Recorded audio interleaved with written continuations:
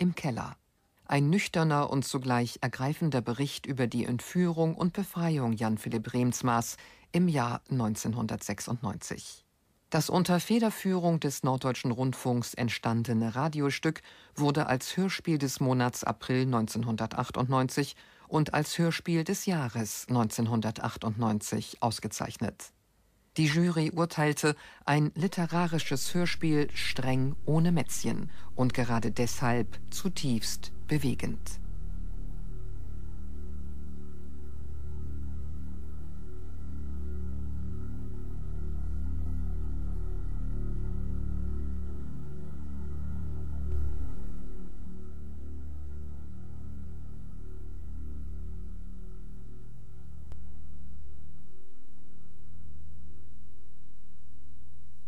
Keller von Jan Philipp Remzma. Funkbearbeitung Charlotte Drews-Bernstein Regie Ulrich Gerhardt.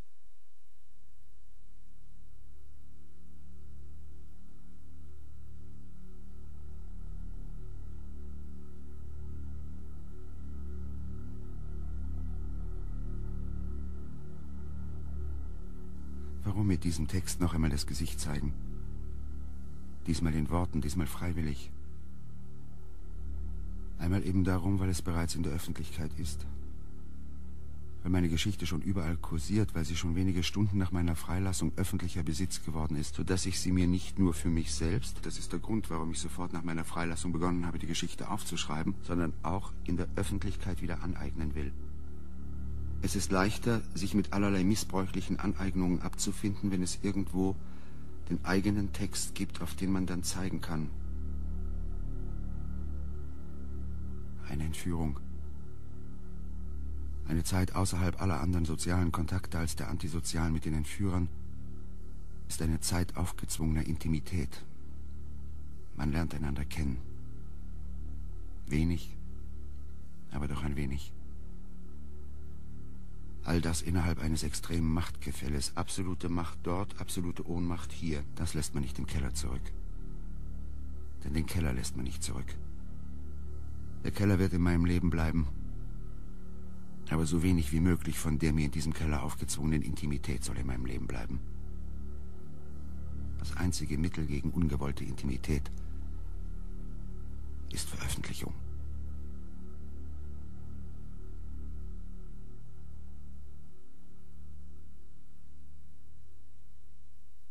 Das Ziel dieses Textes, eine mir aufgezwungene Intimität zu zerstören, nötigt mich nicht nur dazu, so ehrlich zu sein, wie ich es vermag, es bringt mich auch in eine Situation, die ich unter anderen Umständen als beinahe exhibitionistisch empfinden würde. Es schien mir aber hilfreich, mich in der dritten Person Singular darzustellen. Peinliches hat sich auf diese Weise leichter sagen lassen. Auch passt diese Stilfigur zu der Tatsache, dass es keine Ich-Kontinuität von meinem Schreibtisch zu dem Keller gibt, von dem ich zu schreiben haben werde.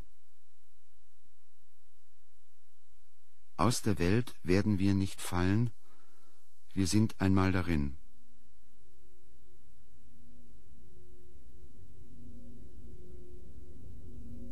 Es war etwa 20.30 Uhr, es hatte ein kurzer, ruhiger Abend werden sollen. Am nächsten Tag wollte er seinen Vortrag beenden und er wollte um halb acht am Schreibtisch sitzen. Er hatte vor, früh ins Bett zu gehen. Die letzten Meter vor seiner Haustür waren wie eine Falle. Der Zugang schmal, rechts und links hüfthohe Mauern. Links hinter der Mauer ging es zwei Meter abwärts, rechts waren die Rhododendren. Der Mann, der da jetzt vor ihm stand, war groß, breitschultrig, etwa so groß wie er selbst, vielleicht größer, ich weiß es nicht. Ich sehe nur noch die Maske vor mir. Eine schwarze Maske, die nur die Augen freilässt. Unmöglich umzudrehen und zu fliehen, er griff an. Sein rechter Daumen war im linken Auge des Maskierten und blieb nahe dem unteren Augenlid an der Maske hängen. Vielleicht war die Hemmung, den Daumen durch das Auge in den Kopf zu drücken, doch zu stark. Oder es war nur der Hieb an seinen Kopf, der ihn herumriss. Er fiel auf die Knie, die Brille flog auf die Steine. Jemand, es war ein zweiter aus dem Rhododendron aufgetaucht, nahm seinen Kopf und schlug ihn gegen die Mauer. Als sein Kopf gegen die Wand geschlagen wurde, sah er darin einen hellen Blitz, wie eine gezeichnete Explosion, in einem Comic vielleicht sternförmig, gezackt, bunt, hell, gar nicht grell, kein Schmerz. Worüber er sich wunderte, war, dass man seinen Kopf nicht stärker gegen die Mauer geschlagen hatte. Sie hätten ihm den Schädel zertrümmern können. Er wurde hochgerissen, hörte, du nicht wehren, nichts passiert. Da wickelten sie schon irgendein Klebeband um seinen Kopf, um ihm die Augen zu verschließen. Nicht sehr sorgfältig übrigens. Er konnte nach unten sehen. Klebeband auch um seinen Mund. Er konnte nicht mehr atmen. Die Nase war durch den Schlag gegen die Mauer in Sekundenschnelle zugeschwollen.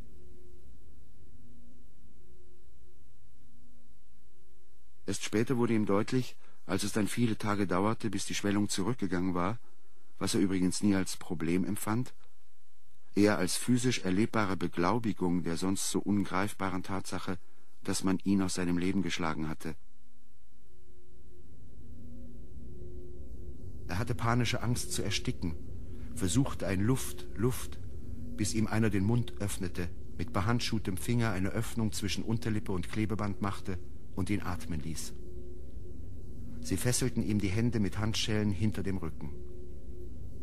Da der Weg bergab ging, konnte er ein wenig nach vorne sehen. Er sah, dass derjenige, der voranging, etwas trug, was er Maschinenpistole genannt hätte, der Fachmann aber Kalaschnikow oder Gewehr. Den Weg, eine Strecke von fünf bis acht Minuten, gingen sie zügig, aber durchaus nicht schnell. Der Mann mit der Kalaschnikow voraus, der andere führte ihn am rechten Arm und an den auf den Rücken gefesselten Händen. Er bemühte sich, so zu gehen, als sähe er nichts. Die Handschellen schnitten in die Gelenke, besonders schmerzhaft an der rechten Hand. Sie drückten unmittelbar oberhalb des rechten Handgelenks auf Elle und Speiche, scheuerten die eine Seite blutig und quetschten auf der anderen einen Nerv, so dass sich sein rechter Daumen und Handballen noch monatelang taub anfühlen würden. Sie blieben stehen, waren oberhalb der Straße, die hier von der Elbe aus den Berg hinaufführt. Er dachte, man wolle ein Auto, das er kommen hörte, vorbeifahren lassen, aber das Auto hielt an. Einige Meter hang abwärts, dann waren sie auf der Straße. Er musste durch die Hecktür einsteigen und sich hinlegen, dann fuhren sie los. Immer wieder musste er sich sagen, das ist die Wirklichkeit, das passiert wirklich. Angst wurde abgelöst von einer diffusen Verzweiflung bei dem Gedanken daran, dass ihn seine Frau irgendwann in der Nacht suchen würde. Wann würde sie Verdacht schöpfen? Wann würde der Verdacht Gewissheit werden? und die Gedanken wurden immer wieder beiseite gedrängt durch die stechenden Schmerzen im Gelenk der rechten Hand und die verkrampfte Haltung, in der er lag. Die meiste Zeit fuhren sie über eine Autobahn.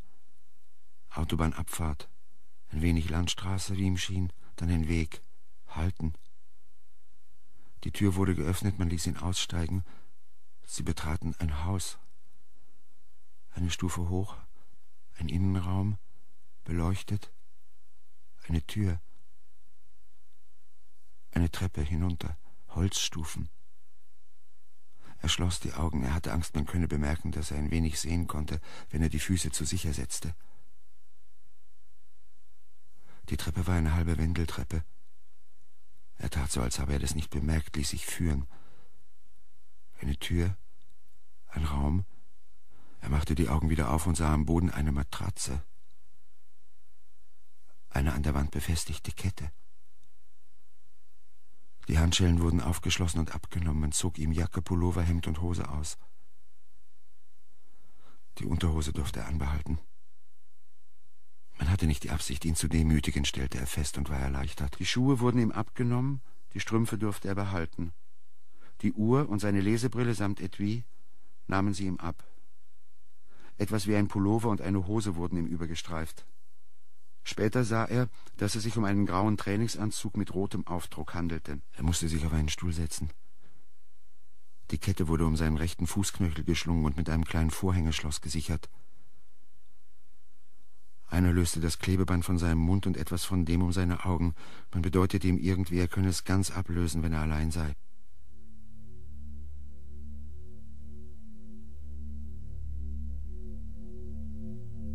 Die Tür wurde abgeschlossen.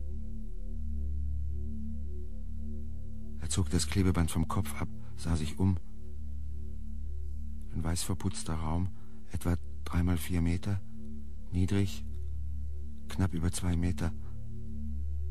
Ein Kellerraum wohl. Zwei Fenster mit Platten verkleidet, ein Tisch, ein Stuhl, beide aus Plastik, dunkelgraublau,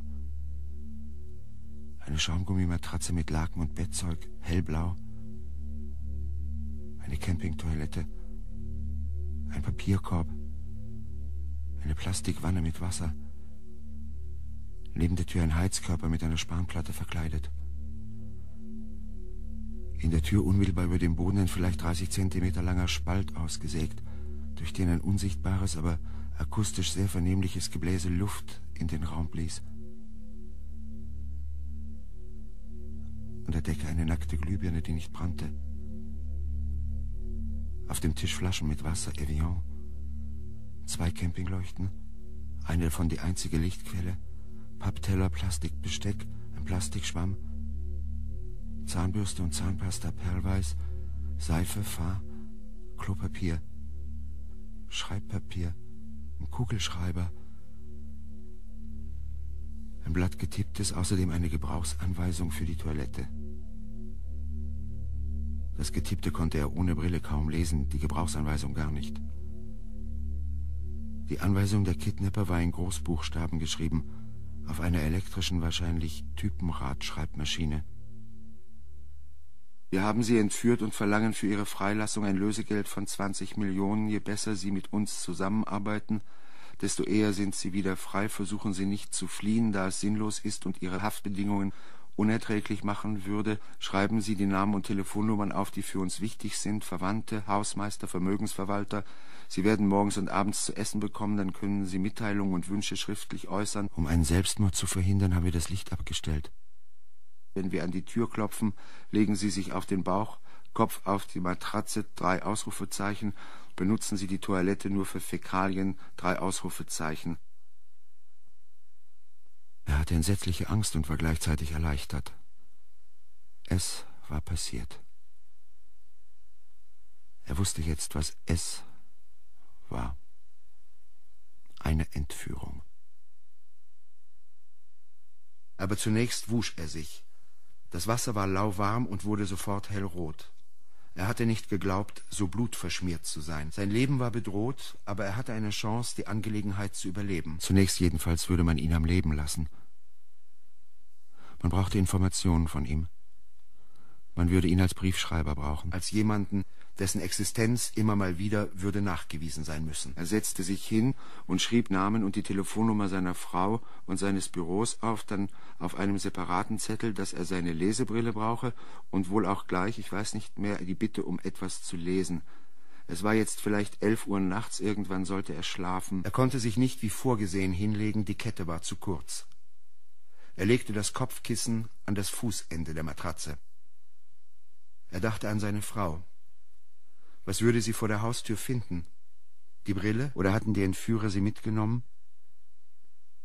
Aber wenn seine Frau die Brille vor der Haustür fände, wüsste sie gleich Bescheid. Wie würde sie es seinem Sohn sagen? Er nahm sich vor, nicht zu weinen. Er hätte es gern getan, hatte aber die Sorge, dann irgendwie von den eigenen Tränen weggeschwemmt zu werden, die nötige Kontenance nicht mehr finden zu können. Er hatte keine Ahnung, was er sich würde zutrauen können.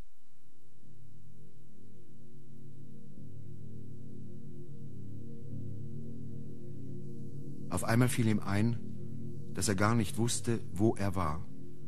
Er wusste nicht einmal die Himmelsrichtung, in die sie gefahren waren. Wann geschieht einem das, dass man nicht einmal ungefähr weiß, in welchem Teil eines Landes man sich befindet? Dass alle, die in der nächsten Zeit an ihn denken würden, diesen Gedanken mit keinem Ort würden verbinden können. Er war einfach weg. Weg. Als sein Sohn Johann noch klein gewesen war, hatte er für runterfallen, wegfallen gesagt. Das war immer recht eindrücklich gewesen. Oh, weggefallen. Jetzt war er, der Vater, irgendwie weggefallen. Dieses Gefühl, weggefallen zu sein, war schlimmer noch als die andauernde Todesangst in den nächsten 33 Tagen das Beherrschende. Weggefallen zu sein, irgendwie aus der Welt. Für das, was andere hatten erleben müssen, habe ich mehrfach die Metapher aus der Welt fallen gewählt. Und auf unangenehm unmittelbare Weise lernte er jetzt, dass die Metapher sehr präzise das Gefühl enthielt, das von nun an für die gesamte Zeit von ihm Besitz ergriff. Ich war auf die Metapher zuerst in Sigmund Freuds Abhandlung über das Unbehagen in der Kultur gestoßen, dort wo Freud über das Gefühl eines sicheren Aufgehobenseins in der Welt spricht das manche Menschen kennen und zu den höchsten Glücksgefühlen zählen, ein ozeanisches Gefühl. Also ein Gefühl der unauflösbaren Verbundenheit, der Zusammengehörigkeit mit dem Ganzen der Außenwelt. Der Dichter Grabbe gibt es seinem Helden im Hannibal als Trost vor dem frei gewählten Tod mit. Ja, aus der Welt werden wir nicht fallen, wir sind einmal darin. Aber ich glaube, es handelt sich um eines jener vagabundierenden Zitate, die im Grunde keinen individuellen Ursprung haben, weil der in ihm ausgedrückte Wunsch ubiquitär ist. Man findet es auch in einem Kinderbuch, das ich meinem Sohn oft vorgelesen hatte, in Barbro Lindgren Enskog's Das wilde Hänschen und sein Hund, Deutsch von James Krüss. Das wilde Hänschen fliegt auf seinem Stoffhund mit allen seinen anderen Stofftieren durch den Weltraum.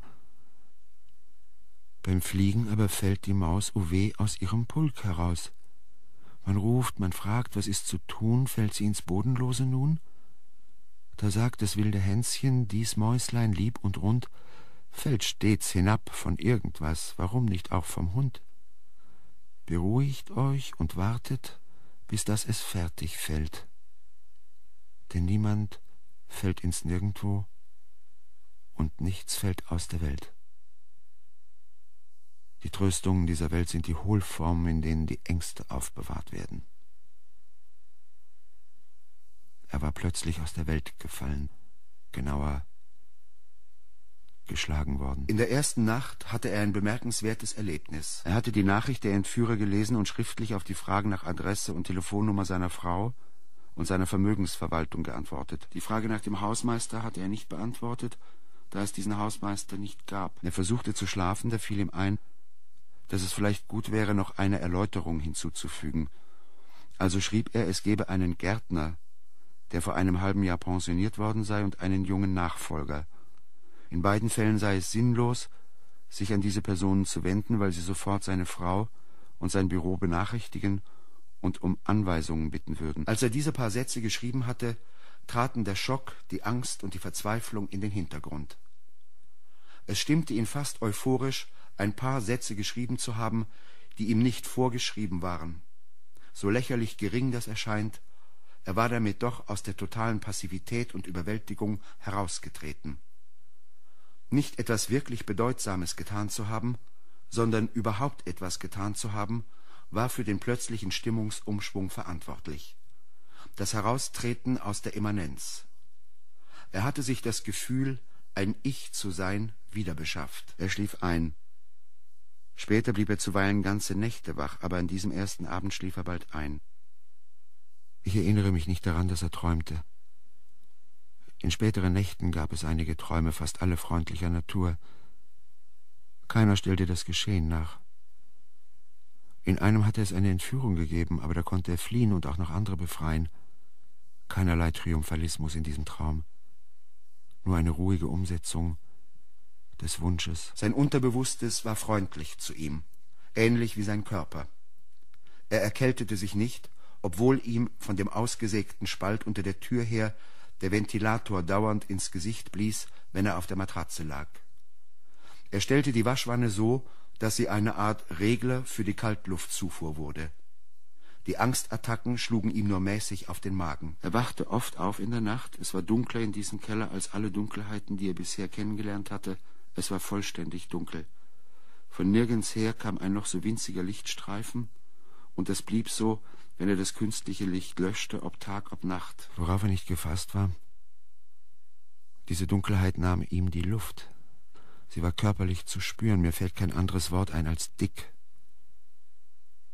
Er hatte Schwierigkeiten zu atmen, das Gefühl zu ertrinken, das Bedürfnis um sich zu schlagen. Glücklicherweise hatte er die eine der Campingleuchten in Reichweite aufgestellt. Mit dem Licht ging die Panik zurück. Er schlief wieder ein, wachte wieder auf, schlief wieder ein. Am nächsten Morgen klopfte es, und in ihm krampfte sich alles zusammen vor Angst. Aber es begann nur das, was er als tägliches Ritual kennenlernen würde. Er lag wie vorgeschrieben, den Kopf auf die Matratze gedrückt, die Hände links und rechts des Kopfes, Genickschussstellung, fiel ihm ein. Die Tür wurde geöffnet, Schritte, etwas wurde auf den Tisch gestellt, Schritte, jemand trug die Waschwanne hinaus und seine handschriftlichen Mitteilungen wurden mitgenommen. Er hörte das Wort Brille. Die Tür wurde geschlossen, Kurze Zeit später erneutes Klopfen. Die Wanne wurde wieder hereingebracht, mit frischem Wasser gefüllt. Und mit der Wanne wurde ihm ein Exemplar des Spiegel vom Montag gebracht und seine beiden Brillen, was einem da so durch den Kopf geht. Er beglückwünschte sich dazu, am Montag den Spiegel nur überflogen zu haben. Dann die Brille. Sie hatten sie mitgenommen. Also hatte er keine Spur hinterlassen. Er stand auf, wusch sich, beziehungsweise erneuerte zunächst das Wasser in den zwei Reserveflaschen. Er hatte immer zwei, drei oder vier Plastikflaschen mit Trinkwasser zur Verfügung. Zwei leere hatte er aufbewahrt und füllte sie mit Wasser aus der Waschwanne, um so, sollte es nötig sein, drei weitere Liter zur Verfügung zu haben. Dann schöpfte er Wasser zum Zähneputzen in den Plastikbecher, den man ihm gegeben hatte. Schließlich wusch er sich mit einem Fuß in der Wanne stehend, der andere, da er wegen der Kette den Trainingsanzug nicht ganz abstreifen konnte, daneben. Er hatte keinen Hunger. Den ersten Tag fast nichts gegessen, die anderen Tage wenig. Meist gab es belegte Brote, Schwarzbrot, Graubrot. Darauf mal Schinken, mal Wurst oder Käse, Marmelade, Quark, Tomaten. Einmal gab es ein paniertes Schnitzel vom Imbiss, einmal ein halbes Hähnchen, zweimal versalzene Ravioli, zweimal Linsensuppe, zweimal Nudelsuppe, jeweils aufgewärmte Doseninhalte. Am ersten Tag gab man ihm Spaghetti mit einer recht grässlichen Thunfischsoße, so fett, dass man ihm ein Glas Wein dazu brachte. Von dieser Ausnahme abgesehen gab es Wasser in Plastikflaschen, später zusätzlich auch Haarmilch. Einmal entschuldigte sich derjenige der Entführer mit dem er in den 33 Tagen zuweilen Gelegenheit hatte zu sprechen, und zwar auf Englisch, weshalb er ihn bei sich den Engländer nannte. The food is not very good, I know, but we eat the same. Antwort The food is the last I would complain about. Er nutzte übrigens die Entschuldigung des Engländers, indem er hinzufügte, Some fruits would be nice. Von da an erhielt er immer mal wieder einen Apfel, eine Banane. Irgendwer mochte gern Erdbeeren. Es war noch früh im Jahr und stellte ihm immer auf den Tisch, was er im Schälchen übrig gelassen hatte. Zu dem Obst kamen Fruchtsäfte in, das war das Entscheidende, Glasflaschen. Damit hatte er zum ersten Mal anderes Material zur Hand als Papier und Plastik. Material, an das sich Ausbruchsfantasien knüpfen ließen. Er trank wenig, einmal, weil ihm einfach überhaupt nicht danach war, etwas zu sich zu nehmen, zum anderen hatte er ständig Angst, im Keller zurückgelassen zu werden und zu verdursten, und er wollte sparen. Das führte nach wenigen Tagen zu Nierenschmerzen. Von da an achtete er darauf, regelmäßig und genug Wasser zu trinken. Als man ihm zusätzlich zu dem Wasser aus den Plastikflaschen Saft aus Glasflaschen brachte, stellte er eine leere beiseite. Einen Tag ließ man sie stehen, dann, nach einem Gespräch mit dem Engländer, war sie weg. Die nächste versteckte er unter den alten Zeitungen, die nicht weggeräumt wurden. Er brachte es mit der Zeit auf drei Glasflaschen. Eine geeignete Scherbe würde er im Fall des Scheiterns zurückbehalten, um sich zu töten. Er bat mehrfach, ihm die Uhr zurückzugeben, und es war wohl auch anlässlich einer solchen Bitte, dass er gefragt wurde, Do you speak English? Yes, of course. Und so spielte sich das Sprechen im Keller auf Englisch ab. Und so sagte ihm denn diese englische Stimme, man werde ihm die Uhr in zwei Tagen zurückgeben. You have to lose your sense of time. Zwei Tage später hieß es, er werde morgen seine Uhr zurückbekommen. But it won't help much. Ich weiß, wie sehr eine Uhr hilft. Man teilt den Tag ein und damit das Problem, dass er nichts weiter besteht als in der bevorstehenden Zeit. Man portioniert, von dann bis dann mache ich dies, dann das. Man kann seine Kräfte konzentrieren und Stunde um Stunde bewältigen. Ohne Uhr treibt man wie in einem Meer von Zeit ohne Ufer. Man wird schwimmen, solange die Kräfte reichen und weiß doch, dass man nirgendwo hinkommt und irgendwann untergehen wird. Als er die Uhr wiederbekam, bedankte er sich schriftlich und bestätigte, You were right, it doesn't help much. Wahrheit ist etwas anderes, aber er wollte die Uhr als eventuelles Sanktionsmittel möglichst neutralisieren. Sie ist eines der Hilfsmittel, mit denen man Kontakt zur Welt hält.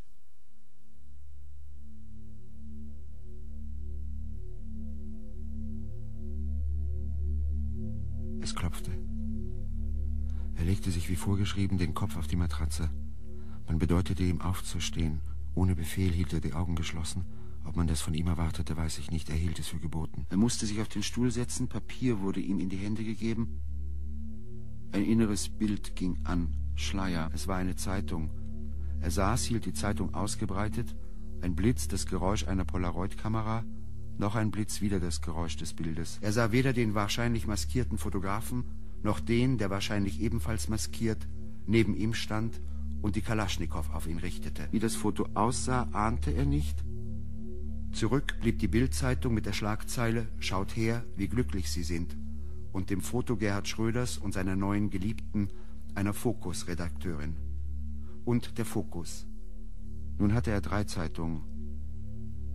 Er erinnerte sich an das, was ihm ein ehemaliger Mitarbeiter des Hamburger Instituts für Sozialforschung von seiner Zeit in Abschiebehaft erzählt hatte.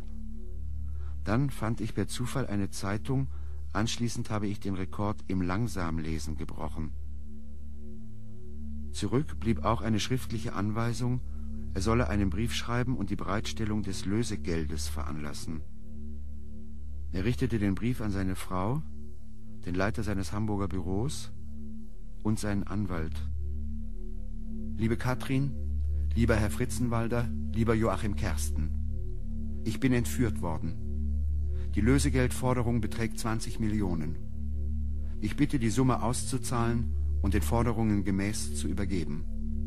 Es geht mir den Umständen entsprechend gut. Ich bitte alles zu unternehmen, damit ich bald hier herauskomme. Er fügte ein PS an, an seine Frau und seinen Sohn. Liebe Katrin, lieber Johann, ich liebe euch, nehmt euch zusammen, ich tu's auch. Versprochen?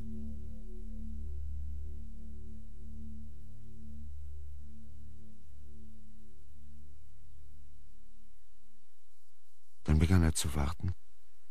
Es geschah nichts. Sie holten den Brief nicht ab. Zeit verging, er konnte sie nicht messen. Er machte Vorgaben, ich habe mich geirrt. Es sind vielleicht erst zwei Stunden vergangen. Wenn sein Gefühl sagte, es seien schon fünf. Er las die Wörter, die im Spiegel standen, eines nach dem anderen, jedes Wort, jeder Anzeige, sogar die Seitenzahlen überprüfte er. Er lief hin und her, zählte die Schritte, auch das verbrauchte Zeit. Irgendwann konnte er kaum noch lesen, weil die eine der beiden Campingleuchten nicht mehr genug Licht gab. Er schaltete die andere ein, las, lief, wartete. Es war nicht nur die merkmalslose Zeit, die nicht verging, sondern eine immer merklicher werdende reale Angst. Warum holen Sie den Brief nicht ab? Es gibt keinen Grund, das nicht zu tun. Sie haben beste Gründe, die Angelegenheit zu beschleunigen. Und wenn Sie diesen Brief nicht abholen, haben Sie auch dafür Gründe, und einer ist der, dass Ihnen die Angelegenheit zu heiß geworden ist. Sie sind abgehauen, und ich sitze hier angekettet in einem Keller, und irgendwann geht das Licht aus. Dann kann ich nur noch versuchen, mit dem Plastikbesteck den Dübel, mit dem die Kette in der Wand befestigt ist, herauszukratzen. Das wird nicht gelingen. Ich kann versuchen, Lärm zu machen. Es wird mich wohl keiner hören. Vielleicht doch. Die zweite Lampe wurde schwächer. Wenn er hier verrecken müsste, würde er bald nicht einmal mehr die Möglichkeit haben, einen Brief zu hinterlassen. Er wollte gern, dass man, wenn es denn dazu käme, außer seiner Leiche ein paar Worte an die beiden Menschen fände, die er liebte.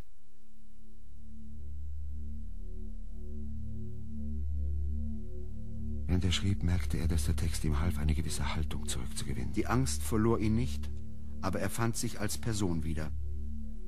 Liebe Katrin, lieber Johann, ich weiß nicht, was passieren wird, aber ich weiß vor allem nicht, wie lange ich noch Licht zum Schreiben haben werde. Von meinen Entführern habe ich seit Stunden nichts mehr gehört. Ein Brief, den ich an dich, Katrin, Joachim, Herrn Fritzenwalder schreiben sollte, ist nicht abgeholt. Im schlimmsten Falle lassen Sie mich hier, wo immer das ist, zurück.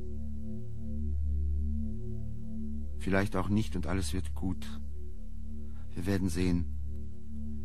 Euch möchte ich nur sagen, wie sehr ich euch liebe und dass ich mit Liebe und Glück an jeden Moment in unserem gemeinsamen Leben zurückdenke. Egal was passiert, ich habe ein wunderschönes Leben gehabt. Dank euch. Euer Jan Philipp.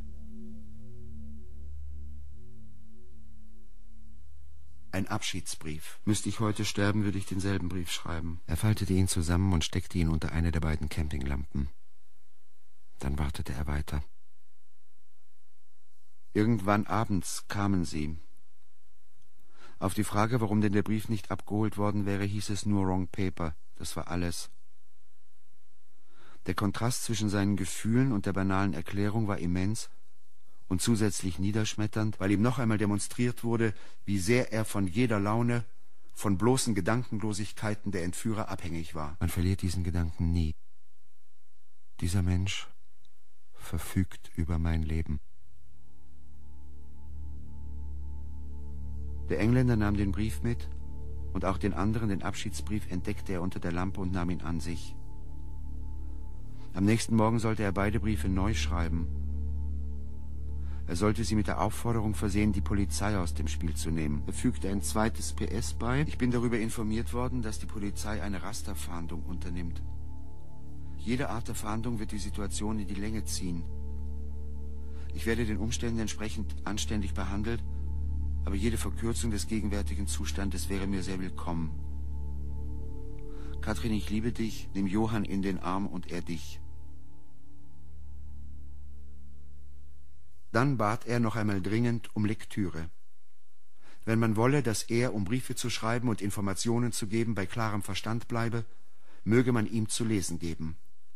Ein Buch, ein dickleibiges, wenn möglich, und er schlug die Bibel vor. Da er nicht erwartete, dass die Entführer für ihn größere Bücherkäufe tätigen würden, wollte er etwas vorschlagen, das auch in kleineren Buchläden zu haben wäre, notfalls in jeder Dorfkirche hätte gestohlen werden können. Am nächsten Tag fand er nach dem Klopfen hereinkommen und wieder gehen eine Tüte, Karstadt oder Kaufhof vor, darin die Chronik des 20. Jahrhunderts und ein Bildband die Gemälde des Prado.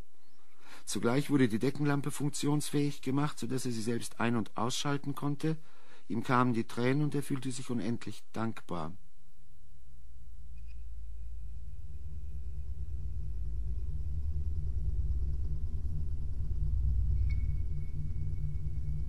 Die positiven Gefühle seinen Entführern gegenüber. Man nennt diese Gefühle Stockholm-Syndrom, nach einer Geiselnahme in Stockholm, in deren Verlauf es zu beinahe freundschaftlichen Beziehungen zwischen Geiseln und Geiselnehmern gekommen war.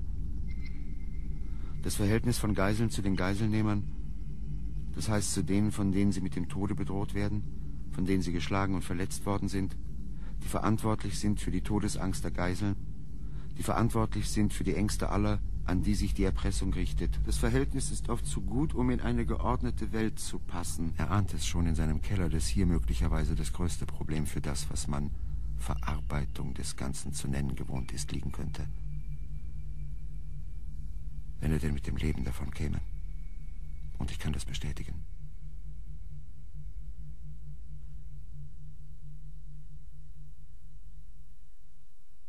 Einen Tag später folgte eine weitere Buchlieferung, John Le Carrés Die Libelle, Tom Wolfs Fegefeuer der Eitelkeiten, Peter Sloterdijks Kritik der zynischen Vernunft, Karl Jaspers Die großen Philosophen, Dostojewskis Erzählungen. Alles in allem eine Auswahl, die ihn erstaunte. Ein Thriller, ein Roman, ein Klassiker, etwas Philosophie. Fast rührte ihn diese Umsicht. Andererseits signalisierte ihm die Anzahl der Bücher, dass die Entführer nicht damit rechneten, die Angelegenheit in ein, zwei Tagen zu beenden.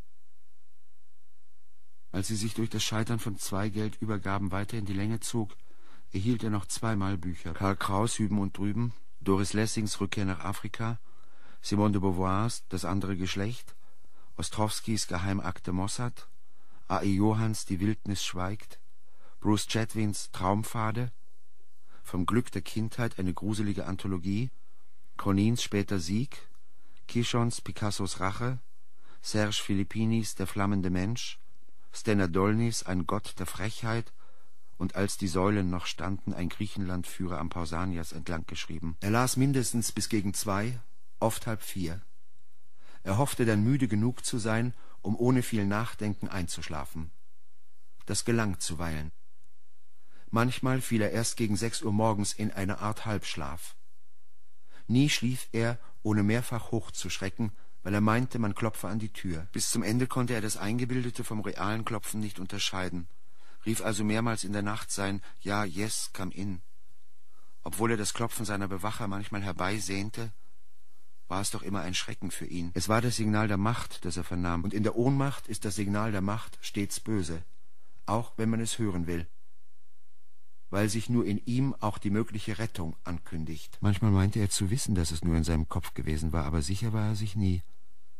so dass er sich immer wie befohlen zurechtlegte und rief, ja, yes, come in. Am Tage bemühte er sich, irgendeine Art Sport zu betreiben, um den Kreislauf zu beanspruchen. Je länger er im Keller war, desto mehr begann sein Herz weh zu tun. Zuweilen schlug es unregelmäßig, manchmal waren es schmerzhafte Stiche, manchmal war es wie ein schwerer Ring um seine Brust. Die erste Woche marschierte er in seinem Keller auf und ab, das heißt, soweit die Kette es zuließ. Zunächst versuchte er kleine Kreise zu gehen, aber die Kette verdrehte sich und wurde schnell kürzer, so dass er dann in die andere Richtung gehen musste, um sie wieder auf normale Länge zu bringen. Im Endeffekt waren die knappen zwei Meter einfach zu kurz, um im Kreis zu gehen. Darum ging er immer dreimal zweieinhalb Schritte hin und her. Sein Gehen bekam bald manische Züge. Es war das Einzige, was er machen konnte. Es fraß Zeit, es sparte Lektüre, es hielt den Kreislauf in Gang, es stellte vor allem Gedanken und Gefühle still. Am ersten Tag lief er wenig, dreitausend, vielleicht fünftausend Schritte, am nächsten Tag achttausend, dann fünfzehntausend, dann achtzehntausendfünfhundert, am nächsten Tag wieder fünfzehntausend. Das blieb sein Pensum. Doch das ging nur eine Woche lang gut. Dann tat ihm morgens der Fuß weh. Er ging weiter sein Pensum. Der Fuß schmerzte immer mehr. Am nächsten Morgen konnte er nicht auftreten, wahrscheinlich eine Sehnenscheidenentzündung. Sorgen machte ihm das nicht, es nahm ihm nur das Gehen. Irgendwie musste er sich auch weiterhin körperlich betätigen, also stellte er sich mit einigem Abstand vor die Wand, stützte sich ab und machte so in der Schräge Wandstütze, wie er es bei sich nannte. Jede Stunde vierzig. Es sollte endlich zur Geldübergabe kommen. Ostern, so sagte man sich, könne er wieder zu Hause sein. Er durfte noch einmal schreiben. Liebe Kathrin, heute Abend wird es eine Woche her sein, dass Sie mich vor der eigenen Haustür weggefangen haben. Da konnte ich kaum begreifen, dass das Wirklichkeit sein soll. Und nun gibt es für euch wie für mich einen absurden, aus der Welt gefallenen Alltag. Ich hoffe so sehr, dass wir bald wieder zusammen sind. Macht, was ihr könnt, damit Sie mich hier wieder und bald hinauslassen. Lieber Johann, ich hoffe, wir sind bald wieder zusammen. Ich umarme euch.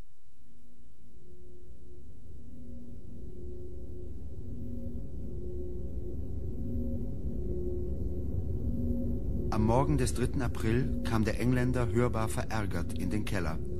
Wenn es so weitergehe, könne die Angelegenheit noch Monate dauern. Niemand sei gekommen. Dies war nicht nur niederschmetternd, weil er inständig gehofft hatte, es werde nun bald alles vorbei sein, sondern auch, weil er nicht verstand, was draußen vorging. Wieso war niemand gekommen? Zudem sei Polizei in dem Wald gewesen, in dem sie gewartet hätten. Sollte man den Versuch gemacht haben, den Entführern am Übergabeort eine Falle zu stellen? Sie schienen dieser Meinung zu sein. Er solle schreiben und seinem Anwalt endlich klar machen, wessen Interessen er zu vertreten habe. Die seines Mandanten oder die der Polizei. Und dann We told your wife we'll cut your finger off. Liebe Katrin, ich weiß nicht, was ihr tut. Die Geldübergabe ist heute Nacht gescheitert. Niemand ist gekommen. Ich habe Angst. Die Stimmung hat sich radikal verschlechtert. Sie haben gedroht, es könne hier noch Monate weitergehen und Sie würden mir einen Finger abschneiden. Ich halte das nicht für leere Drohung. Bitte, Katrin, glaub mir und hilf mir. Jetzt zögert es nicht weiter hinaus. Du hast gesagt, Gerhard Schwenn würde alles übernehmen. Ich bin einverstanden, wenn es wirklich Gerhard ist und niemand von der Polizei. Lieber Gerhard, ich bin jetzt wirklich in großer Gefahr. Du bist mein Anwalt, also bitte übergib heute Nacht das Geld. Und wenn du es nicht machen willst, so wird es Herr Fritzenwalder tun. Dies ist eine ausdrückliche Anweisung von mir. Für beide Fälle werde ich den Entführern eine Frage mitgeben, die nur du oder Herr Fritzenwalder beantworten kann, damit die Identifikation eindeutig ist. Tut, was ich sage, keine Polizeitaktik mehr. Katrin, ordne an, dass das so passiert. Ich liebe dich, hilf mir. Ich habe Angst und kann nicht mehr. Es muss heute Nacht passieren.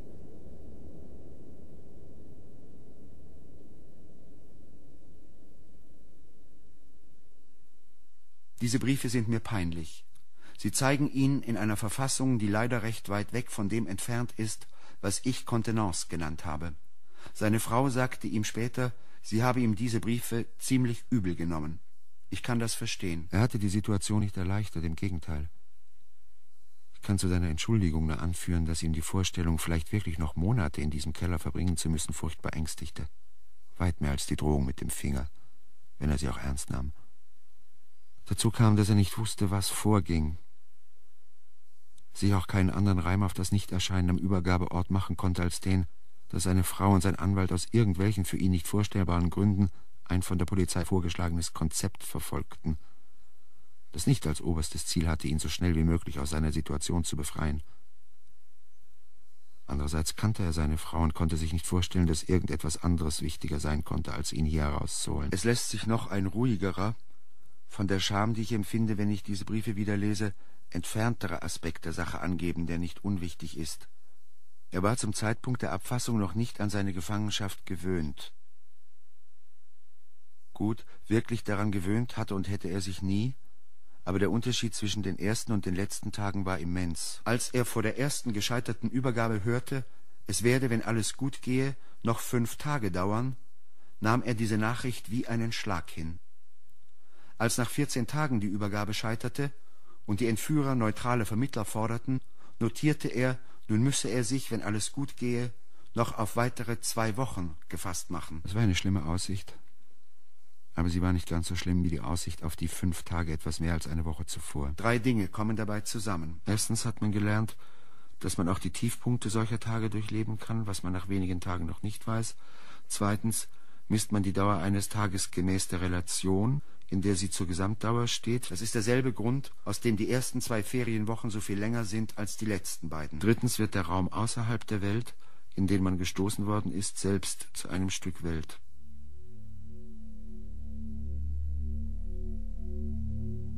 Die Wände werden vertraut. Es gelingt sich auf ein Buch einzulassen und seine Lektüre nicht nur als einen hysterischen Zeitvertreib zu betreiben und so weiter.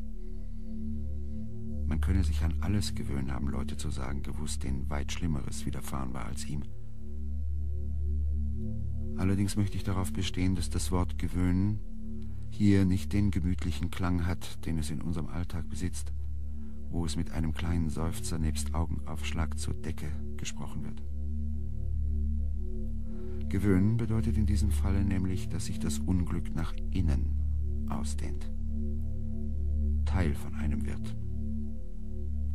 dass die Chance, aus dem Unglück aufzutauchen wie aus einem Albtraum, den man unter der morgendlichen Dusche abwaschen kann, geringer wird. Gewöhnung bedeutet eine größere pathogene Intensität. Die Seele verlagert den Schrecken aus der Aktualität ins Chronische, aus der Exterritorialität ins Leben. Inzwischen bereitete er sich darauf vor, dass man ihm vielleicht einen Finger abschneiden würde. Einen Finger, man hat gewöhnlich zehn davon, und welchen wird es treffen? Er rechnete die bisherigen Erfahrungen hoch und schloss daraus, dass man ihm keine Verstümmelung um ihrer selbst willen zufügen wollte. Also würde es wohl den kleinen Finger der linken Hand als den am wenigsten genutzten treffen. Oder wenn man ihn wählen ließe, würde er sich für diesen entscheiden. Er fürchtete sich nicht so sehr vor dem Schmerz. Was ihm zu schaffen machte, war der mögliche Zeitpunkt der Verstümmelung. Der Finger müsste per Post geschickt werden. Wenn er Donnerstag in den Briefkasten geworfen werden würde, könnte er Freitag nicht ankommen, da war Karfreitag. Das heißt, es bestand, falls man ihm Donnerstag oder Freitag den Finger abschnitte, die Wahrscheinlichkeit, dass dieser erst am Dienstag in der Post, also der früheste nächste Kontaktversuch, erst Dienstagabend sein würde, da die Entführer ja die Wirkung des abgeschnittenen Fingers sicherstellen wollten. Sechs Tage also ohne zureichende medizinische Versorgung? Mit einer gewissen Wahrscheinlichkeit, dass sich die Wunde entzündete. Es kam also ein weiteres Todesrisiko hinzu. Wundbrand. Dachten die Entführer so weit?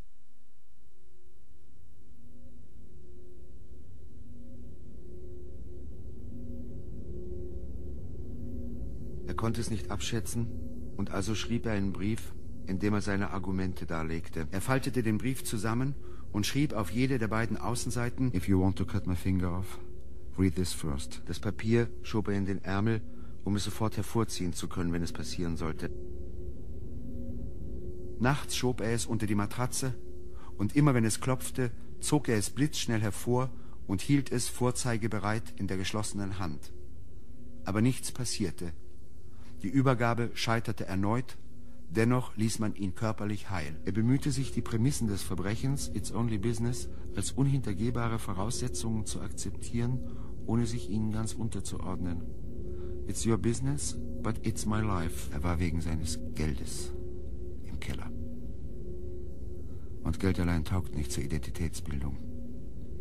Und schon gar nicht zu den pathetischen Gefühlen, die es braucht, um psychisch etwas gegen eine erniedrigende, potenziell mörderische Situation aufzubieten. Er war nicht entführt worden wegen einiger Bücher, die er geschrieben hatte, sondern wegen der magischen Summe, die auch durch die Berichte über ihn als Zigarettenerbe oder angeblichen Allround-Mäzen geisterte. It's just business. Von Ostersonntag auf Ostermontag musste er einen weiteren Brief schreiben. Wie immer wurde ihm der Wortlaut freigestellt. Man bedeutete ihm nur, er möge selbst dafür sorgen, dass es endlich klappe.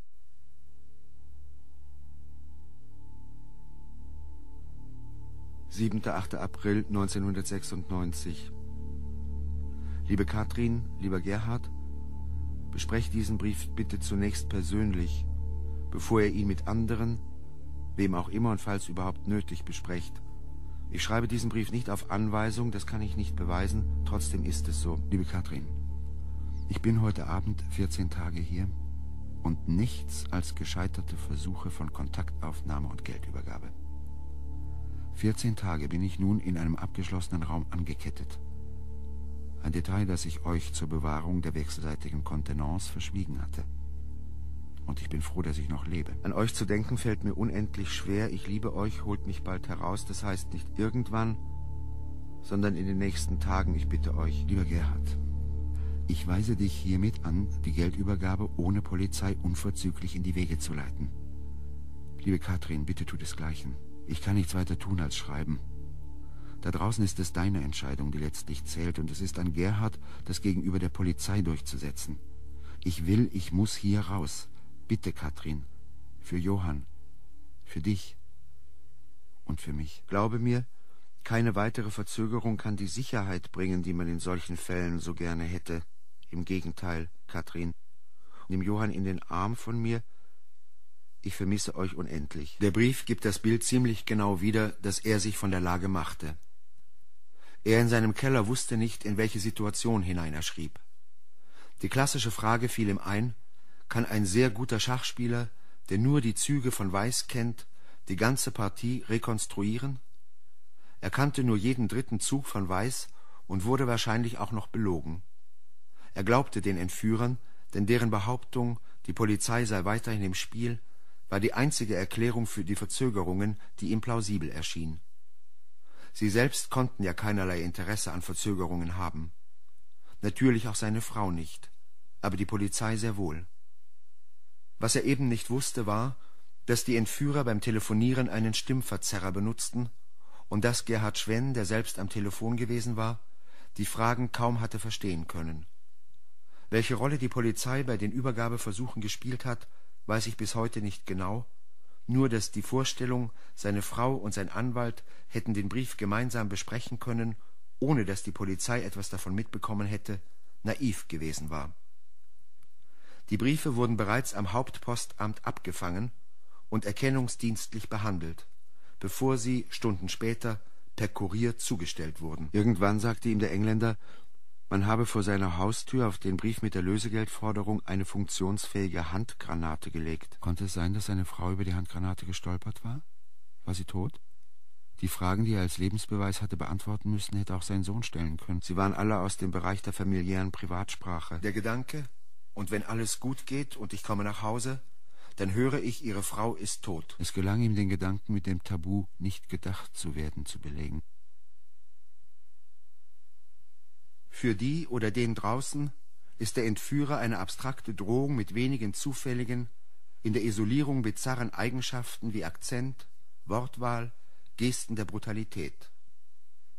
Für den Entführten ist der Entführer die einzige wirkliche Realität außerhalb der Zelle, jedenfalls die einzige, mit der sich etwas anfangen lässt, über die es vielleicht lohnt, sich Gedanken zu machen, die einzige, die man vielleicht doch beeinflussen kann der einzige Mensch in Reichweite, wenigstens eine menschliche Stimme. Ich erinnere mich sehr gut an jenen Selbstekel, den er damals empfand, wenn er sich auf die Stimme des Engländers freute, eben weil es eine menschliche Stimme war, eine menschliche Stimme und ein Stück Außenwelt im Keller außerhalb der Welt. In diesen 33 Tagen hat er insgesamt vielleicht eine Stunde mit dem Engländer gesprochen.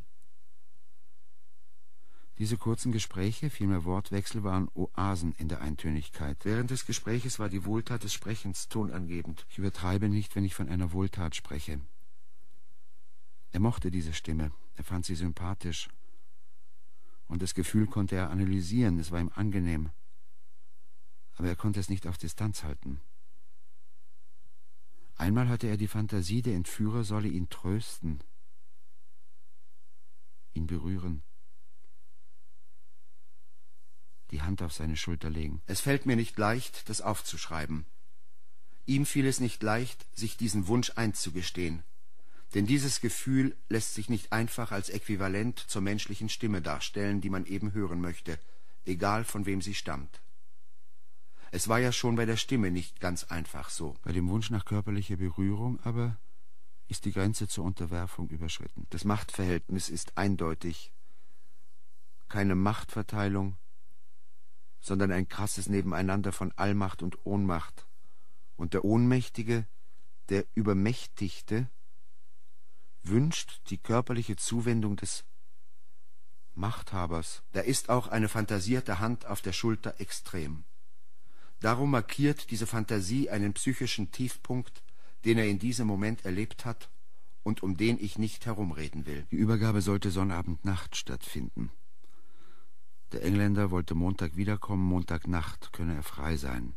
Der Engländer werde jetzt Freitag fahren. Er kam aber nicht Montag, sondern schon Sonntag Nachmittag zurück. Oben wurde eine Tür zugeworfen. Schritte kamen die Treppe herunter. Wieder sei Polizei da gewesen. Auch habe Gerhard Schwenn wieder versucht, in Zusammenarbeit mit der Polizei sie reinzulegen. In dem Hotel, in dem er einen Anruf habe erwarten sollen, habe statt seiner die Polizei gewartet. Er habe eine Identifizierungsfrage nicht beantworten können. Die Polizei unterschätze sie immer noch. Sie seien auf alles vorbereitet, hätten alles im Blick, hätten Nachtsichtgeräte. And if they try to catch us, we will open fire at them. It's not good to kill a policeman. If you do, the whole police of Europe will be after you. But I don't want to spend 15 years in a room like this. And if they kill us, no one will find you here. Der Engländer war wütend. Nicht nur wegen des Scheiterns der Geldübergabe an sich, sondern wegen des, wie er es zu empfinden schien, Verrats des Anwalts Gerhard Schwenn.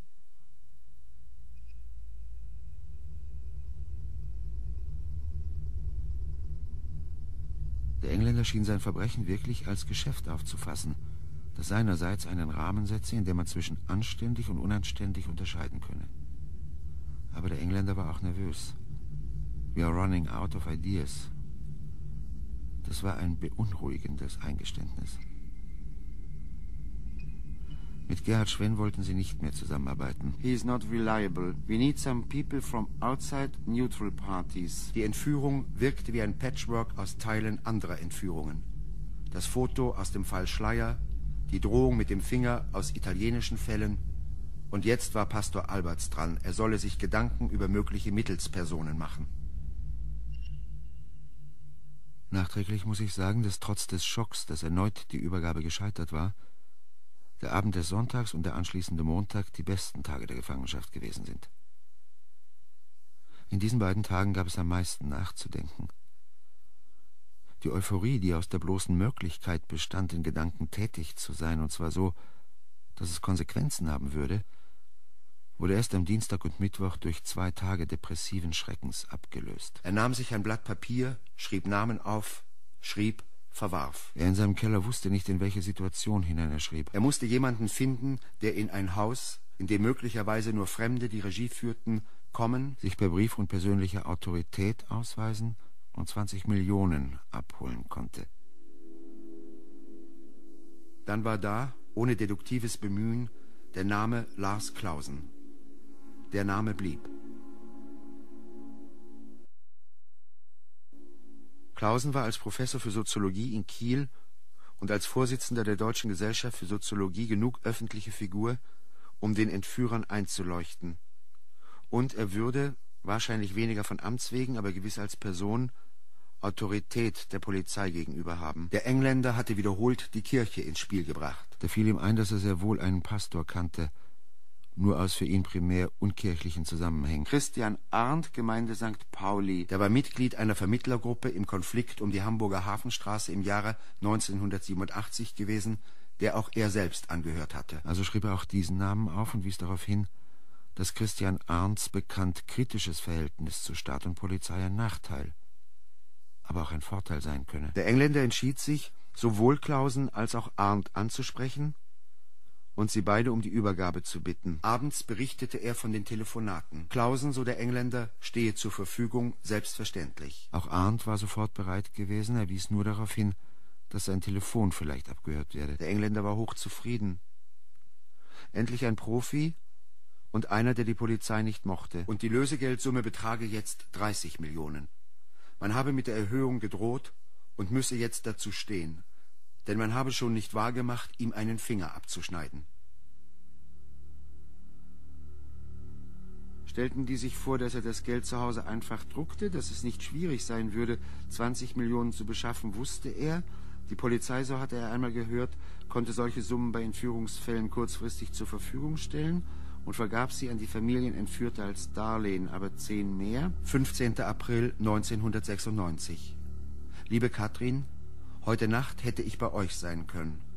Gestern erhielt ich die Nachricht, es ist erneut gescheitert. Überall Polizei. Ich weiß nicht, was ich mir für einen Reim machen soll. Kann es sein, dass die Polizei hinter eurem Rücken agiert? Es kann natürlich auch sein, dass die Entführer die Nerven verloren haben und Gespenster sehen, aber den Eindruck machen sie nicht. Das sind keine Amateure. Ich versuche, mich in deine Lage zu versetzen und kann das kaum, weil mir dann so zum Heulen ist, dass ich nicht ein noch ausweis. Und wenn ich an Johann denke. Aber ihr müsst es als eine Art brutale Geschäftsabwicklung auffassen und es wird klappen. Geld gegen JP. Sie haben das Lösegeld von 20 auf 30 Millionen heraufgesetzt. Bitte lasst die zusätzlichen 10 Millionen beschaffen. Sie haben zu Gerhard kein Vertrauen mehr. Ich habe darum zwei außenstehende Vermittler gebeten und autorisiert, die Verhandlungen zu führen und das Geld zu übergeben. Lars Klausen und Christian Arndt. Beide haben sich telefonisch bereit erklärt zu helfen.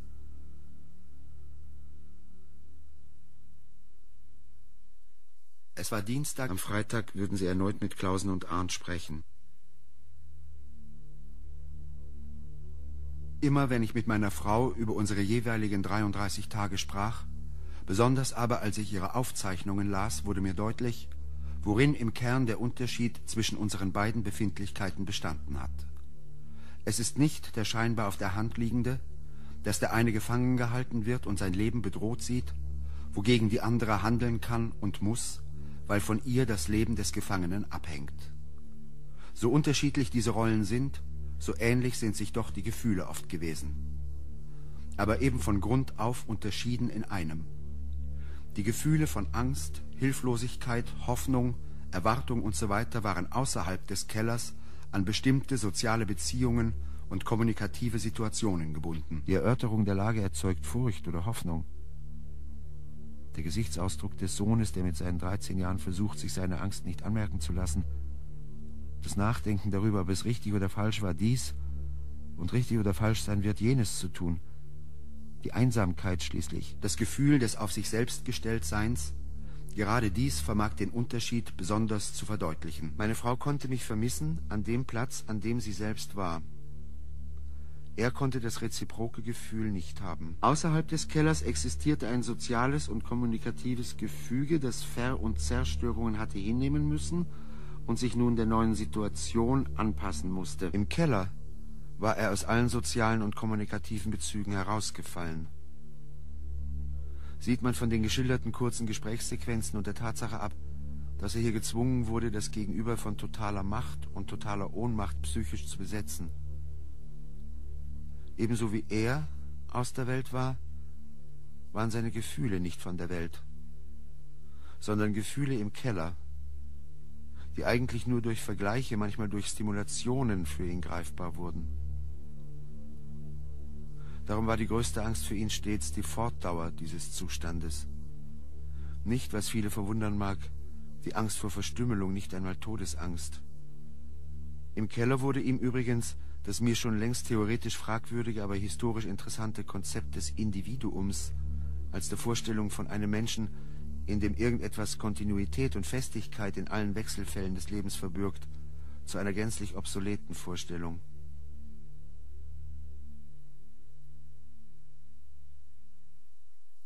Noch einige Wochen nach seiner Freilassung hatte ich des Öfteren das Gefühl, plötzlich wieder verloren zu gehen, den Kontakt mit der mich umgebenden Welt zu verlieren. Manchmal war das Gefühl rein physisch, nur auf die Körperoberfläche bezogen. Ich meinte, den Verstand verlieren zu müssen, wenn sein mein Körper nicht berührt, in den Arm genommen, festgehalten würde, als brauche es eine Kraft von außen, um mich vor dem Verlorengehen zu schützen. Und diese Kraft musste ich an und auf meinem Körper spüren. Der Engländer war wieder zufriedengestellt. Er habe mit Arndt gesprochen, der sei schnell, klar und präzise gewesen. He didn't play around and ask silly questions lawyer. Einmal kam er auf die Erhöhung des Lösegelds zu sprechen. Es komme Ihnen auf die weiteren zehn Millionen nicht an, nur aufs Prinzip. We have to punish them. Eine merkwürdig inflationäre Geisteshaltung. Maybe we can't transport the ten million, I don't know. I don't want to cut a lot of paper into little pieces to find out. Das nicht eingeplante Geld, Substitut für einen Finger, und manchem gewiss mehr wert als bloß einen Finger, verwandelte sich in einen Haufen Papier. Aber ein Haufen Papier hatte es schon für die Planung der Entführer sein müssen. Er sprach ihn auf das Maß an Logistik und Aufwand an, das so eine Entführung mit sich bringe, und ließ sich sagen, für jeden Anruf führen Sie ein paar hundert Kilometer, für jede Übergabe müssten Sie eigens Autos stehlen, die Vorbereitung des Ganzen habe 200.000 Mark gekostet. Hatte er sich verhört? 200.000 Mark schien ihm abenteuerlich viel. Andererseits was wusste er über die Anzahl der auf Basis einer Vorabpauschale Beteiligten? Was kostete ein professioneller Schläger wie der, der ihn überwältigt hatte und angeblich längst weit weg war? Wie ich später erfahren habe, hatte die Anmietung des Hauses, in dem sich der Keller befand, etwa 20.000 Mark gekostet. Now I won't have to work for years. 30 Millionen für Jahre bloß und nicht für den Rest des Lebens? You will enjoy the money? Of course. Do you think sometimes about the price people have to pay for what you are doing? I do not speak about the money. You mean the moral question involved? Yes. Well, you don't start a thing like this and suddenly you say to yourself, oh my God, what am I doing?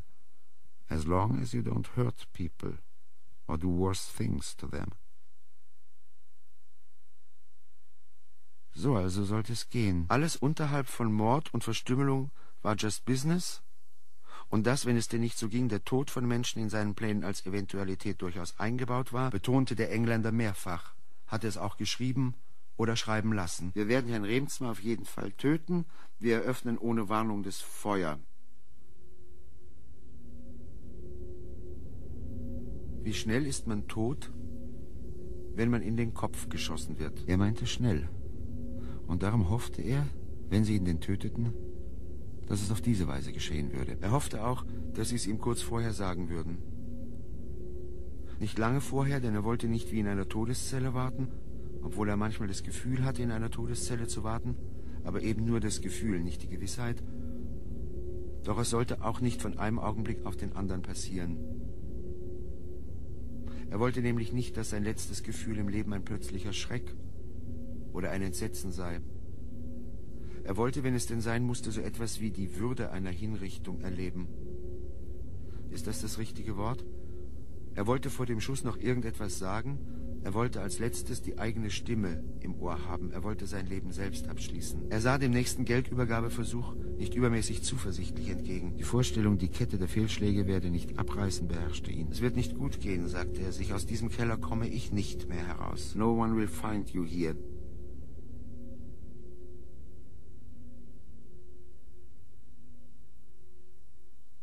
Sie brauchten bis zum nächsten Mittwoch, um ein neues Übergabeszenario auszuarbeiten. Wenn alles gut gehe, werde er, der Engländer, Freitagmorgen wieder da sein, wenn nicht früher.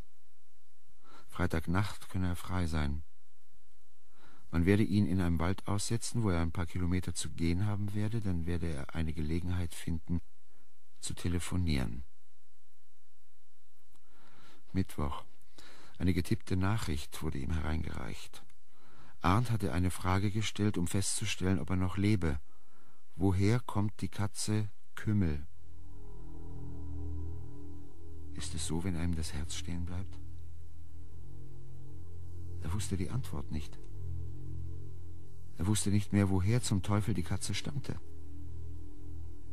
Konnten die nicht etwas anderes fragen? Irgendwo aus Schleswig-Holstein hatte Kathrins Bruder einst das Kätzchen mitgebracht, aber woher da? Malente? Irgendwas war mit Malente. Aber was? Was ist denn jetzt, wenn ich das nicht mehr weiß? Da war der Name. Trittau. Seine Frau hatte die Katze ein besonders liebes Tier mit einer Allerweltsfarbe, mal ironisch Miss Trittau genannt. Miss Trittau. Trittau. Er konnte beweisen, dass er noch lebte, denn er wusste den Namen Trittau. Wenn alles nach Plan laufe, werde er Donnerstagvormittag eine schriftliche Nachricht erhalten. In der Nacht von Mittwoch auf Donnerstag solle er nur im Notfall klopfen, in case of fire also. Der, der ihn bewache, werde nicht herunterkommen. Er fragte nach, ob der, er sagte, that guy, ihm wie gewohntes Frühstück bringen werde, oder ob er auf den warten solle, der at noon die Nachricht bringen werde. Das Frühstück war ihm dabei egal. Er wollte wissen, nach wie viel verwarteten Stunden er sich die Panik nicht mehr würde ausreden können. Nein, the person upstairs, she won't come down. Eine Frau also. Eine Frau, die nicht herunterkommen will. Also wollte man ihn jetzt noch nicht einfach im Keller lassen und verschwinden. Ihn packte plötzlich wieder die Angst davor, die Glühbirne der Deckenlampe könne durchbrennen und er im Dunkeln sitzen. Sich durch Klopfen bemerkbar zu machen, sei ihm ja, von krasseren Notfällen abgesehen, untersagt. Der Engländer gab ihm, wie achselzuckend ob des neurotischen Gehabes, eine Ersatzglühbirne und gewissermaßen ironisch zwei Batterien für die Campingleuchten, verabschiedete sich dann freundlich und mit der Drohung, wenn sie nicht zurückkämen, würde die Person ihn nicht herauslassen. She will go and leave you here.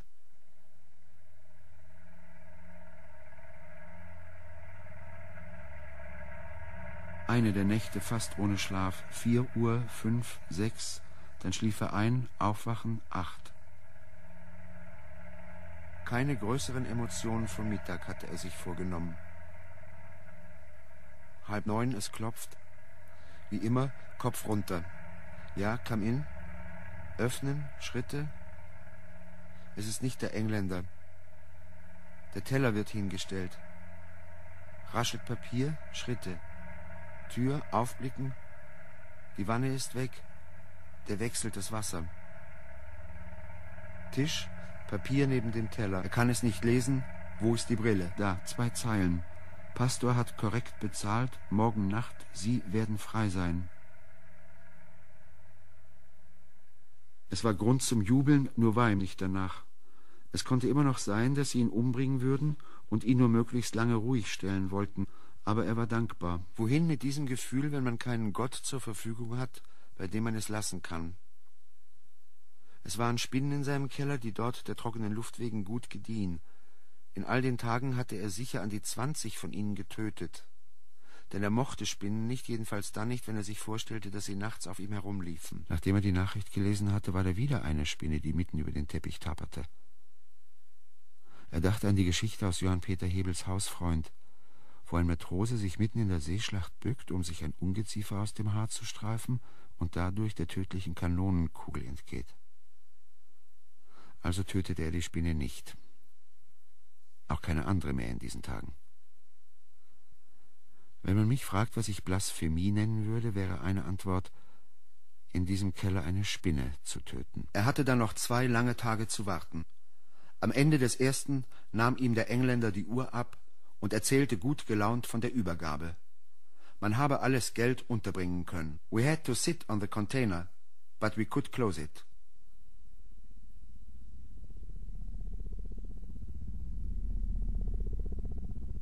Am Ende des zweiten Tages wuchs die Angst erneut. Er hörte, dass oben im Haus aufgeräumt wurde. Geräusche, als würden Regale abgebaut, Bretter weggeschafft. Dann ein Klirren wie von Flaschen, die in einen Container geworfen wurden. Dann viele, viele Stunden Stille. Sollte er klopfen? Was, wenn sie nur ihre Abfälle wegschafften? Weit weg. Nicht kämen. Aber die Zeit einfach noch nicht um wäre.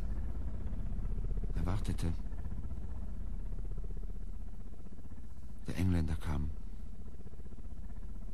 Ein Teller mit Brot. Waschwasser. Und seine Kette wurde aufgeschlossen. Das täten sie nicht, wenn sie ihn im Keller lassen wollten. Ungeheure Erleichterung.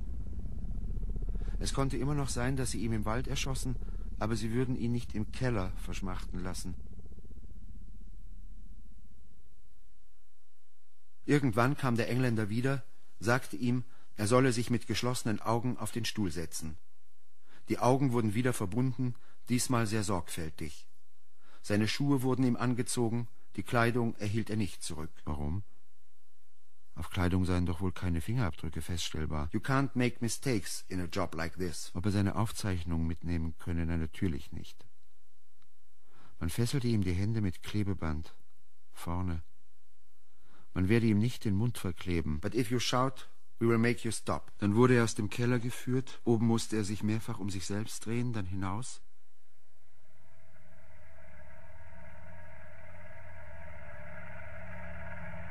Er musste wieder hinten einsteigen, aber diesmal war es keine Ladefläche. Is this a trunk?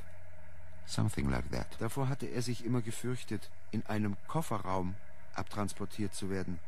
Schleier fiel ihm ein, Aldo Moro auch.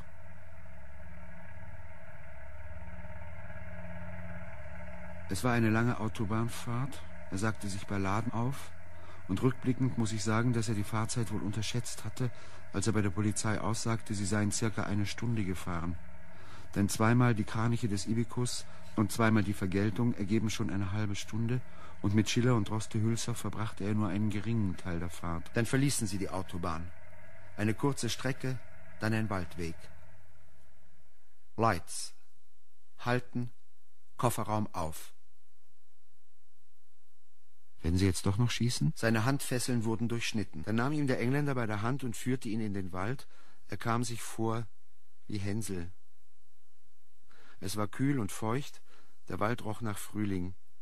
Er hatte im Keller viereinhalb Wochen außer seinem Essen, zweimal einem abscheulichen Rasierwasser eines seiner stummen Bewacher und vor allem der chemischen Toilette gar nichts gerochen. Jetzt dieser überwältigende Geruch nach feuchter Erde, Gras frischem Laub. Er hätte beinahe etwas gesagt, hielt sich gerade noch zurück. Das Gefühl wollte er mit dem Engländer nicht teilen. Dann blieben sie stehen, er könne jetzt die Binde lösen, solle sich nicht umsehen, immer geradeaus gehen und keinesfalls zurück. After some kilometers there's a railway bridge, and behind it there's a village named Horst. There you will find a telephone or a house where you can call your family or the police, whatever you like. Er riss an der Augenbinde, fand den Anfang nicht, riss sie ohne Rücksicht auf die Haare ab. Stockdunkle Nacht, Wolken, kein Mond. Er machte ein paar Schritte. Noch etwas sagen? Goodbye? Kaum. Wie verabschiedet man sich von einem Entführer? Nice having met you, I can't say. Lachen. I understand. Er ging. Er ging einfach weiter, Schritt für Schritt, wie eine Maschine, nicht zu so schnell, denn der Weg war uneben und er konnte kaum etwas sehen. Links von ihm, ein paar Kilometer entfernt, das Brausen der Autobahn. Der Weg senkte sich ein wenig. Dann sah er die Brücke und dahinter Lichter. Das hat man heutzutage auch selten, fiel ihm ein, das Gefühl der Geborgenheit, wenn man aus einem Wald voller Räuber kommt und plötzlich die Lichter eines Dorfes sieht. Überhaupt hat man selten Zeiten, in denen man stets bewusst ist, dass man einfach nicht weiß, was in der nächsten Minute passieren wird. Ich mag die Zivilisation schon sehr, dachte er sich. Dann war er im Dorf. Keine Telefonzelle weit und breit. Ein Haus hatte noch Licht, er sah durch das Wohnzimmerfenster einen Mann, der sich Tennis im Fernsehen ansah. Er klingelte, trat ein paar Schritte von der Tür zurück, damit der Mann nicht dachte, er wolle ihn vielleicht überfallen. Wie sah er eigentlich aus?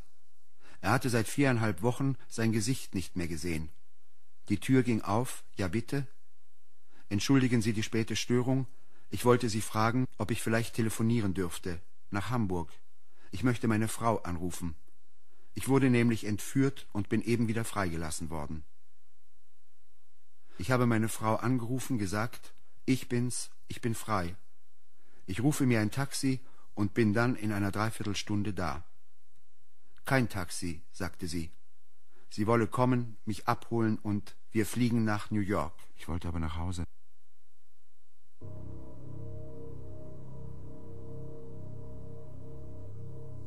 Dreiunddreißig Tage herbeigesehnt, obwohl ich mir während der 33 Tage verboten hatte, mir diesen Moment auszumalen. Ich stehe vor unserer Haustür, ich klingle, meine Frau öffnet mir und jetzt, jetzt könnte ich... Was? Wahrscheinlich weinen, vielleicht einfach umfallen. Nein, das nicht. Aber in den Armen meiner Frau sehr, sehr schwer werden, die Spannung nicht mehr selber tragen. Und dann oder zuvor sie halten, fest, ihre Anspannung auffangen. Nein, wir würden raufgehen zu unserem Sohn. Oder hat er mich gehört und kommt gerade die Treppe runter? Und wir sind alle drei an seinem Bett und halten einander fest.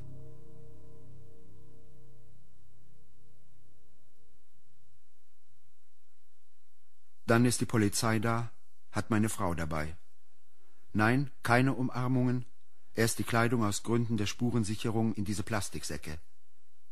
Wir gehen in einen Nebenraum, ich ziehe mich um, merke wieder, wie unsicher ich auf den Beinen bin. Dann umarmen wir einander. Fahrt ins Bundeswehrkrankenhaus. Dort eine mehr oder weniger gründliche Untersuchung. Derweil wurde mein Sohn mit einem Polizeiwagen gebracht, kam fast zögernd in den Raum, in dem ich bereits von der Polizei vernommen wurde. Er hatte, wie ich später erfuhr, nicht mehr damit gerechnet, mich lebend wiederzusehen. Umarmung, so zärtlich wie möglich, so Vater-Sohn-sachlich wie nötig. Ein Blick auf meinen Bart, denn einen Rasierapparat hatte es im Keller nicht gegeben. Mein Sohn bekam tatsächlich einen fremden Vater zurück. Warum fahren wir eigentlich nach New York? Ob ich eine Ahnung habe, wie es zu Hause aussehe, als ob wir Greta Garbo zu Besuch hätten. Ganz klar wird es mir erst, als wir nach etwas über einer Woche wieder zurück sind und ich mir zögernd die Videoaufzeichnungen der TV-Berichterstattung ansehe. Die Vorstellung, ich hätte mit einem Taxi nach Hause kommen können, war absurd, um ein geringes zu sagen. Blitzlichtattacken, hingestreckte Mikrofone, irgendwelche hingeschriebenen Standardfragen aller Wie fühlen Sie sich, Herr Remsmar? Haben Sie eine Ahnung, wer die Täter sind? und ähnliches. Man kommt nicht nach Hause, sondern ins Fernsehen. Es ist ein sonderbares Erlebnis, wenn das eigene Leben in Stories zerfällt, die dem jeweiligen Medium angepasst in der Öffentlichkeit erzählt werden. Es gibt für das eigene Leben kein Copyright, aber es ist leichter, sich mit allerlei missbräuchlichen Aneignungen abzufinden, wenn es irgendwo den eigenen Text gibt, auf den man dann zeigen kann. Es ist nicht verwunderlich, dass ein Erlebnis wie die 33 Tage im Keller ein in vieler Weise beschädigtes Sensorium hinterlässt. Nervosität prägt den Tag. Plötzliche Geräusche erschrecken oder machen einen vor Wut fast unsinnig. Das Geräusch eines Hundes im Gebüsch bewirkt, dass einem einen Augenblick schlecht wird vor Erinnern. Und dann, die gewohnten Kontinuitäten stellen sich ein, die Extreme verschleifen sich. Man lebt sich ein. Aber manchmal von einem Moment auf den anderen ist plötzlich der Keller wieder im Leben. Dann begann er zu gehen, Drei Schritte hin, drei Schritte her. Eins, zwei, drei, vier, fünf, sechs, sieben, acht, neun, zehn, hundert, zweihundert, dreihundert, vierhundert. Es gelang ihm noch zu hoffen, dass niemand hereinkäme und ihn sehe. Er hörte die Tür, hörte auf, hin und her zu laufen. Seine Frau sah ihm an, dass es ihm schlecht ging. Sie verstand ihn. Er merkte das, als er hilflos anfing zu weinen und endlich ebenso hilflos sagte, was er eigentlich jedem und jeder und aller Welt sagen wollte, damit man es endlich zur Kenntnis nehme. Es war so schrecklich, so schrecklich. Aber es half nichts. Nichts war vorbei. Nichts würde vorbei sein. Von einer Minute auf die andere konnte die Welt wieder einstürzen. Das ist die Wahrheit von 33 Tagen. In der Geschichte vom Flaschengeist aus Tausend und eine Nacht sagt der aus seiner Flasche befreite Geist seinem Retter, die ersten tausend Jahre habe er ihm alle Schätze der Welt versprochen. Aber jetzt wolle er ihn töten. Seit er im Keller gewesen ist, kann ich den Geist verstehen, ohne das wahrscheinlich plausibel machen zu können. Im Grunde geht es darum, dass man sich von einem bestimmten Moment an auf seine Befreiung nicht mehr richtig freuen kann. Die Fähigkeit, sich zu freuen, ist beschädigt. Aber das ist nur die eine Seite. Die andere ist, dass man meint, in die Welt, in die man wieder entlassen wird, nicht mehr wirklich zu passen. Und der, der einen aus der Flasche oder dem Keller hinauslässt, rückt mit dem, der einen hereingebracht hat, gefährlich zusammen. Irgendwo in der jüdischen Tradition gibt es die Beschreibung des Zustandes nach dem Erscheinen des Messias. Alles sei wie zuvor, nur um ein winziges verschoben. Nicht erst seit meiner Entführung meine ich, dass die Utopien der Menschen ihre entstellten Ängste sind. Alles ist, wie es war, nur passt es mit mir nicht mehr zusammen. Als trüge ich eine Brille, die alles einen halben Zentimeter nach links oder rechts verschiebt. Ich kann nichts mehr greifen, der Tritt fasst die Stufe nicht mehr. Oder als seien die Oberflächen der Dinge leicht gebogen, als würde nichts mehr Halt finden, das ich hinstellen möchte. Welt und ich passen nicht mehr. Das kann die beschriebene Form von psychisch-physischer Lähmung in Verbindung mit extremer Nervosität annehmen, die sogar körperliche Schmerzen erzeugt. Es kann aber auch die Form gänzlicher Gleichgültigkeit annehmen. Es ist alles tatsächlich unwichtig geworden, auch die Meinung, es sei alles unwichtig geworden. Diese hat nämlich keine Spur von dem Pathos mehr, das in der Depression noch aufbewahrt ist. Der Depressive geht an oder in der Welt zugrunde. Aber wenn die Welt und ich nicht mehr zusammenpassen, dann bedeutet unwichtig werden nichts mehr, das sich durch ein besonderes Gefühl grundieren ließe, sondern ist die bloße Tatsache, dass alles, was wichtig ist, in der Welt ist. Und ich bin eben nicht darin. So ist es also. So ist das. Der Keller bleibt im Leben und ist doch nicht zu einem Teil des Lebens zu machen. Er bleibt der zerstörerische Einbruch, die Vergewaltigung, die Exterritorialität, die plötzlich wieder da sein kann.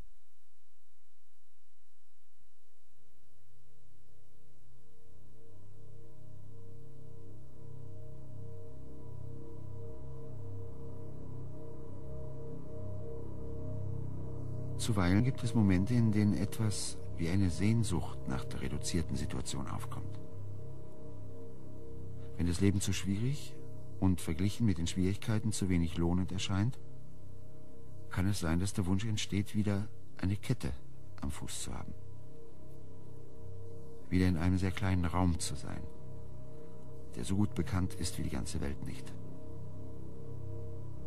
Woher kommt dieser scheußliche Wunsch? Das ist ganz einfach. Im Keller hatten die Gefühle des Nicht mehr in der Weltseins ihren Ort. In der Welt haben sie keinen. Mit diesen Gefühlen bin ich nur im Keller zu Hause gewesen.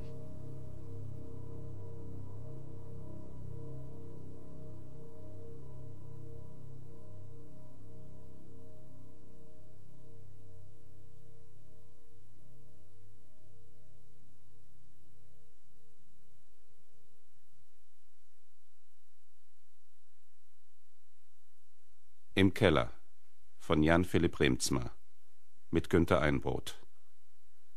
Funkbearbeitung Charlotte Drews-Bernstein. Komposition Ronald Steckel. Schnitt Wenke Decker. Ton Peter Keins. Regieassistenz Heike Tauch. Regie Ulrich Gerhardt. Produktion Norddeutscher Rundfunk. Senderfreies Berlin Feature. Südwestfunk 1998. Deutschlandradio Kultur. Kriminalhörspiel